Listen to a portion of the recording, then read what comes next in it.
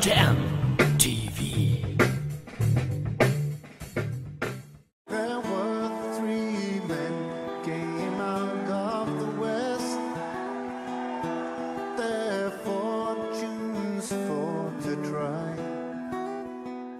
È una delle più antiche folk ballad della tradizione britannica. Qualcuno la fa addirittura risalire al 1500, anche se forse la versione scritta, pubblicata più eh, famosa è quella del poeta scozzese Robert Burns eh, intorno alla metà del 1700. La canzone racconta la metafora del barley corn, un termine arcaico che significa il grano d'orzo, cioè il cereale che è alla base di whisky e birra, cioè le bevande più amate e più bevute nel Regno Unito e anche nei vari processi di lavorazione, di trasformazione che questo cereale subisce prima appunto di trasformarsi in una bevanda alcolica. La canzone racconta metaforicamente questa vicenda chiamando il barleycorn con un nome, cioè John Barleycorn, come se fosse una vera persona che subisce una serie di angherie, di violenze, eh, di insulti proprio tipiche dei vari processi di trasformazione, come se una persona